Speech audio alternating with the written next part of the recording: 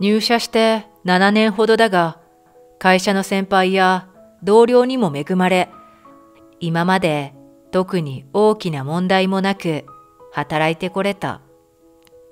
ただ一点、俺の職場には古賀課長という仕事ができる上司がいるのだ。仕事ができて優秀な反面、ボソボソとした喋りできつい物言いをするので、周囲から好かれていなかった。だが、俺は古賀さんが本当は口下手なだけで、そんなに悪い人ではないと知っていたので、職場で唯一親しくしていた。そんな俺のことを周りは不思議がっていた。俺の名前は松井久人、29歳。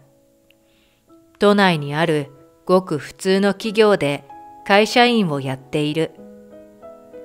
松井はなんで古賀課長とそんなに仲良くするんだ？あの人、口が悪いし、怖いだろ？先日も同僚からそんな風に言われた。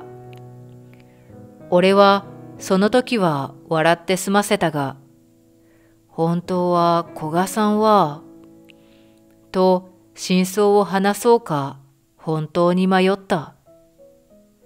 ある日、そんな古賀さんから急な呼び出しがあった。何かやらかしたかななどと考えながら会議室に向かうと、相変わらずの仏頂面で古賀さんが待っていた。お待たせしました。お話というのは何でしょうか？娘と1ヶ月一緒に暮らしてくれないか？俺が尋ね終わるより早く食い気味に古賀さんはそう打診してきた。仏頂面に一切変化はないが、古賀さんは緊張した時に少しだけ早口になる。今回もその癖が出ていたので、古賀さん自身も緊張していることが分かった。しかし何かと思えば仕事以外のこと、それも娘さんと1ヶ月一緒に暮らす？なんてどんな依頼だよ。はい？思わず聞き返してしまった。普段であればこんな返しをしていたら古賀さんから相当怒られていただろう。だが今回はお咎めがなかった。どうやら古賀さん自身相当悩んでいるらしい。そういえば古賀さん来週から海外出張で1ヶ月いないんでしたね。ようやく頭が回り始めた。そうだ。先方からの指定で、どうしても俺が行かないといけないんだ。だが、その間、なおを一人にしておくのはな。古賀さんは早くに奥さんに先立たれ、男で一つで育てていた女子大生の一人娘がいた。確か来年卒業と言ってたから21歳くらいで都内の有名大学に通っていたはずだ。口が悪いだけではなく極端に自分のことは話さない古賀さんとはもう7年の付き合いだ。その間話してくれた内容を総合しても古賀さんの家庭のことはそれくらいの情報量しかなかった。その娘を一人家に残し、一ヶ月不在にするのは心配だという。会社の中でも比較的というよりほとんど唯一親しくしている俺ですらこのありさまなのだ。古賀さんは自身の性格が災いし、職場だけではなく、親しい友人が皆無で、また親類縁者とも折り合いが悪いという。つまり、頼める人が俺しかいないということですか？甚だ不本意ではあるが、その通りだ。相変わらず、こういうことに限って一言多い。この人がもう少しオブラートに包んで話すことを覚えていたら、今頃この会社の重役にでもなっていただろう。お話はよくわかりました。ですが、娘さんは20歳を過ぎた女性ですし、30近い独身の俺と一緒に過ごすよりも、娘さんの友達のところに行くなり、家に来てもらうなりした方がいいのではないでしょうか。俺は丁重に断ろうと、そう口にしてから、はっと気づいた。もしそんなことができるなら、古賀さんは初めからその手段をとっているはずだ。どうやらそうできない事情がありそうだ。すると古賀さんから事情をもっとちゃんと理解してもらいたい。とりあえず今日はうちに寄ってくれないか？と頼まれた。社内でも古賀さんの自宅に行ったことのある人物はいないだろう。あのミステリアスな古賀家の秘密を垣間見えるかも。そう思いながら俺はそれを承諾した。その日は共に仕事を早々に切り上げ、俺は古賀さんが住む一軒家を訪れた。おかえりな。ああ、その、えっと、ど、どうも、娘のなおです。家に着くと、古賀さんの娘であるなおさんが出迎えてくれたが、どうにも挙動不審だった。出迎えてくれたものの、古賀さんだけでなく、知らない部下を連れていることがわかると、早々に部屋に引っ込んでしまった。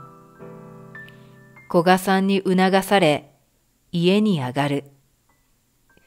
一軒家は二人で住んでいるには広すぎる印象だったが、掃除が行き届き、きれいに整理されていた。ほら、これでも食え。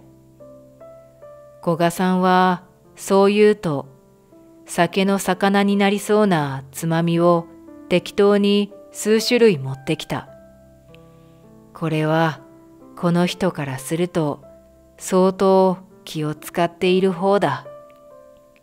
持ってきたつまみを食べながら古賀さんは今回の俺に相談する理由を語り始めた。なおを見てどう思った？え？それはとても美人な人で、こちらが言い終わる前に古賀さんは続けた。そうだろう。それに勉強はとてもできる。だがかなりの人見知りで口下手で親しい友人が全くいないと来たものだ。どうやら口下手なのは遺伝するらしい。古賀さんと同じですね。とは口が裂けても言えなかった。おまけに古賀さんが散々甘やかしてきたせいで家事は壊滅的。もし古賀さんがいなくなったら3日間一人で暮らせるかすらわからないらしい。もう一点気になることがあってな。さらに、なおさんには悪質なストーカーの影があるとのことだった。なるほど。だから俺に白羽の矢を立てたというわけだ。単に家事ができないだけなら代行サービスなどで1ヶ月をしのぐこともできる。だが、なおさんの身の安全を考えると、ある程度近くでガードできる人物が必要と考えたのだろう。古賀さんには仕事で昔から世話になっていたので、助けにはなりたかったが、さすがに若い女の子と二人は、と俺は何度も断った。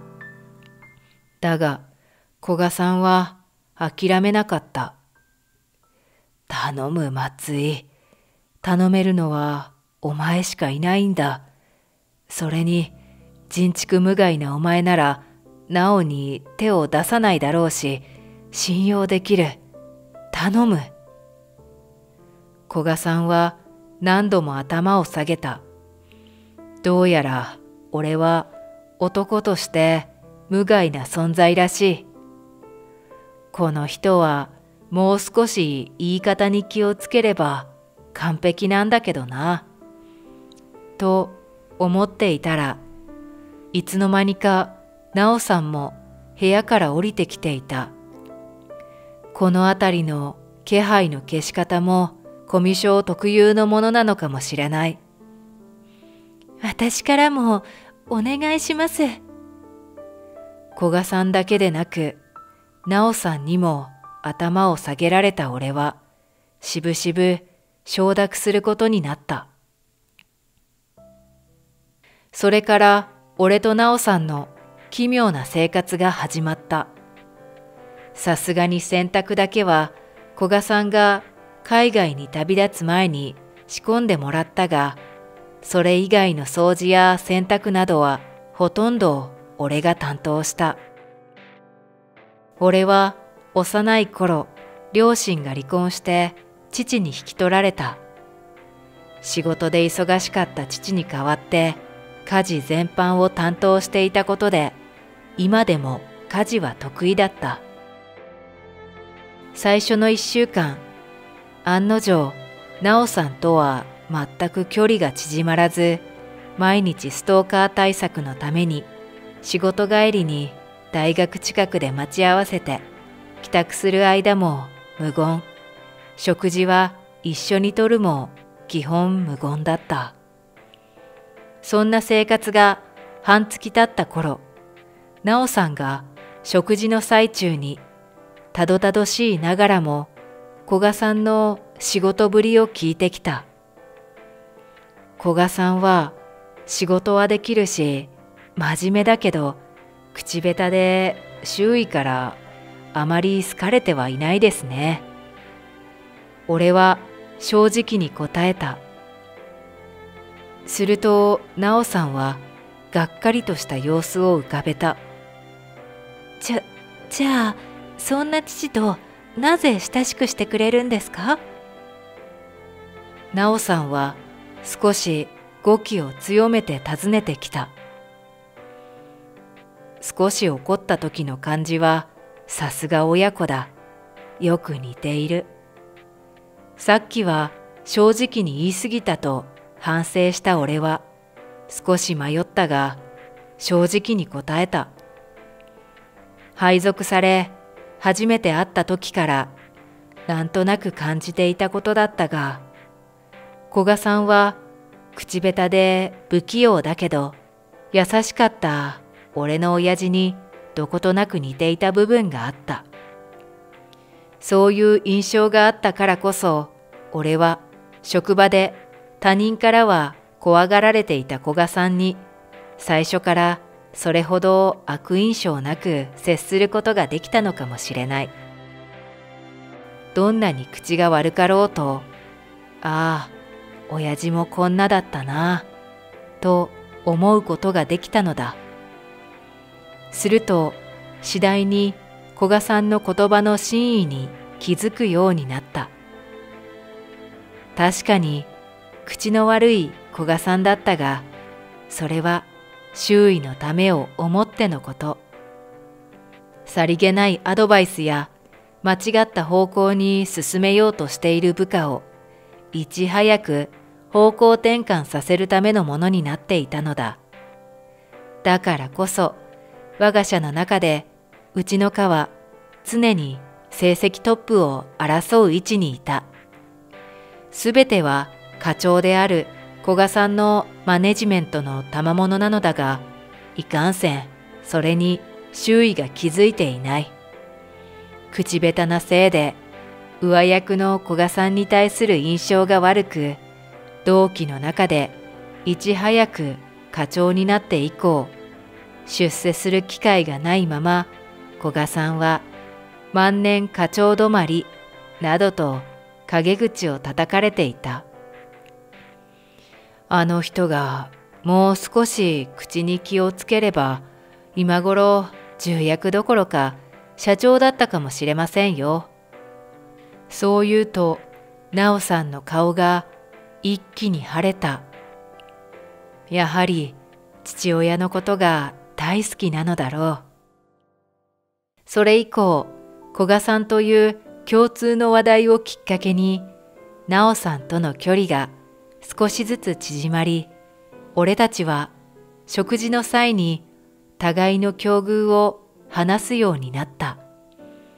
なおさん曰く、古賀さんは奥さんが亡くなってから一人で何もかも自分でやろうとするようになったらしい。なおさんが家事を手伝おうとしても何もさせなかったとのことだ。お前は勉強を頑張れ。いい学校に行って自分がやりたいことを何でも選べる人生を歩むんだ。自分自身が就職の時、自由な進路を選べなかったという話は、古賀さんが昔ちらっとしていた。どうやらそんな自分と同じ思いを娘にはさせたくなかったということなのだろう。そして、なおさんは父に言われた通り勉強だけしていたのだが、次第に勉強以外何もできなくなってしまったらしい。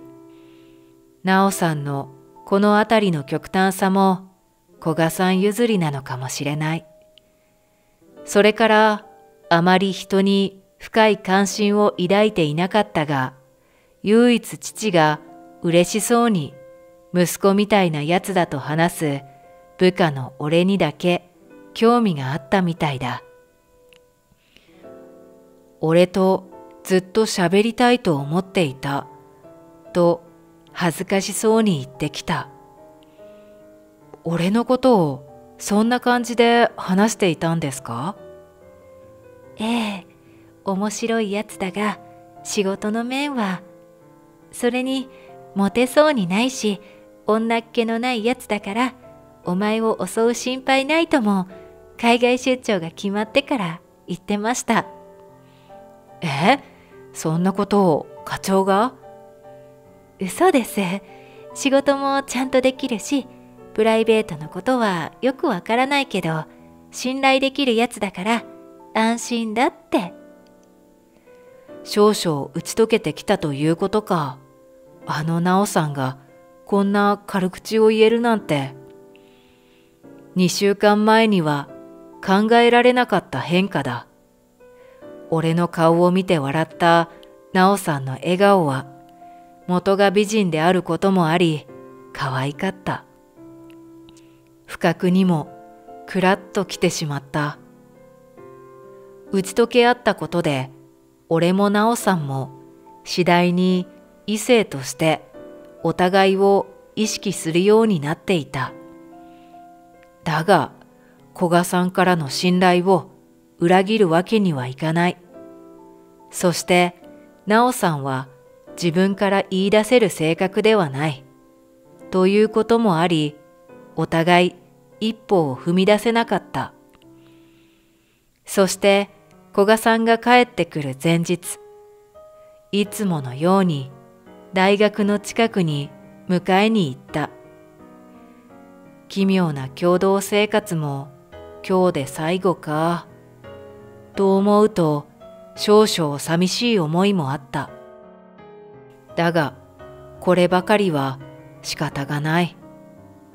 集合場所に行くと何やら騒がしい。見ると、なおさんが怪しい男に絡まれていた。俺は慌てて駆け寄り、二人の間に入るようになおさんをかばう。すると、なおさんは俺の背中にしがみついた。背中越しになおさんが震えているのがわかった。この人、例の怖い人？今までも散々怖い目に遭っていたというが、つまりこの男がストーカーということだ。すると男は、浮気か？ふざけるなよ。と騒ぎ出し、持っていた警棒のようなものを振り回し始める。警棒を振り上げたまま走り寄り、一気に振り下ろす。狙いは、なおさんの頭だ。俺は、なおさんに向けられた攻撃をかばったが、打ちどころが悪く、一発で気を失いかけた。薄れゆく意識の中、俺は必死になおさんの前に立ち、守ろうとしたが、急に目の前が真っ暗になってしまった。数時間後、目が覚めると、俺は病院にいた。ぼやけた視界の中には、なおさんの姿もあった。俺が目を覚ましたことに気づいたなおさんは、泣きながら俺にすがりついてきた。どうやらあの後、近隣住民の通報により男は捕まったようだ。なおさん、怪我はありませんか？開口一番、俺はなおさんに聞いた。意識を失った後、攻撃を受けなかったのかが心配だったのだ。ええ、久人さんのおかげで助かりました。どうやら俺が助けに入った後、周囲にいる人たちが一斉にストーカー男を取り押さえ、事なきを得たとのことだ。ん？久人さん？今まで、なおさんは、俺のことを松井さんと呼んでいたはずだが、ストーカー男が急に警棒を取り出し、騒ぎ始めたことにあっけに取られていた周囲の人たちも、俺がなおさんを守ろうとしているのを目にして、状況を理解したようだ。助けてくれた人たちが、久人さんが真っ先に行動したおかげだって、武器を持った人の前に立つなんて自分ではできないって。なおさんはそう言ってくれたが、あの時は必死で何も考えていなかった。何より、なおさんに怪我がないことが救いだ。ストーカー男は、なおさんの大学の同級生。同じ授業を何度か取ったことがある程度の関係だったらしい。授業の際にたまたま近くの席に座り、プリントを渡すときに軽く会釈をしたのを無言でも分かり合えている関係と勘違いしていたらしい。そして内気な彼女を守るためという題目でストーカー行為をしていた。というのが真相のようだ。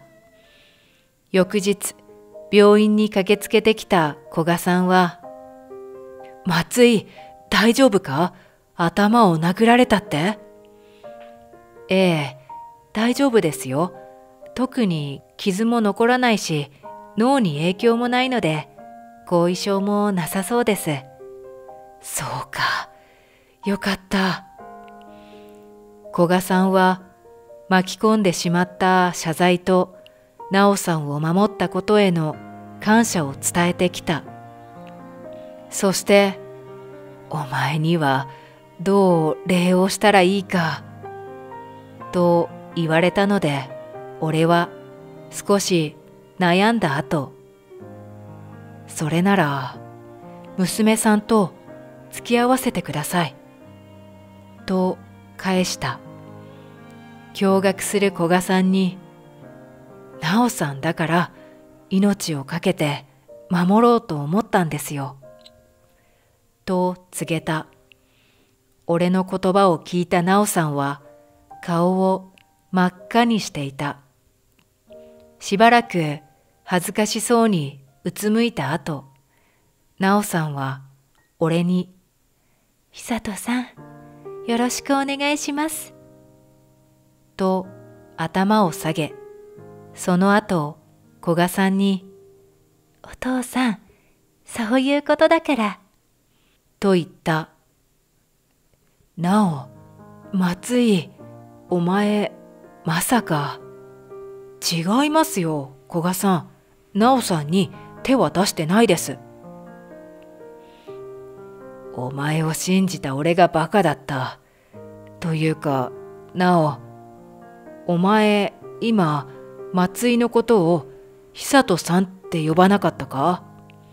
この1ヶ月、お前ら、一体何があった？古賀さんは、事情を受け入れられずに、柄にもなく、取り乱していた。その様子を見て、俺と奈緒さんは、おかしくなって笑った。2週間前、俺と奈緒さんが話すきっかけになった出来事を説明するのは、古賀さんが落ち着くまでしばらく待たなければならなかった。その後、俺と奈緒さんは交際を経て結婚。今は古賀さんを含めた3人で暮らしているが、3ヶ月後に2人増える予定だ。古賀さんは双子のための洋服を買ったり、ベビーカーを用意したりと、俺やなおを差し置いて、すっかりルンルンで準備をしている。表情も穏やかになり、いいおじいちゃんモードになっていた。これで職場でも変わってくれれば、などと淡い期待をしたものだが、職場では相変わらず無口で口の悪い頑固親父のままだった。自宅とのギャップを知る俺は、なんともおかしくて、職場でも笑ってしまいそうになる。唯一変わったことは、周囲の人が課長の真意を徐々に理解し始めたことだ。あの一件以降、俺はことあるごとに周囲に古賀課長の言葉の意図や目的、今まで課としてうまく回っていたのは、実は古賀課長の手腕によるものであることを言うようになった。周囲もそれを理解し、課長の言葉の意味を考えるようになった。そして古賀課長は来春から古賀部長になる事例が発表された。俺は有能な社員ではないが、職場では古賀部長、家庭ではなお、素晴らしい人間でありながら、周囲とうまくコミットできない人物を周囲とつなぐ役割を今後も続けていこうと思う。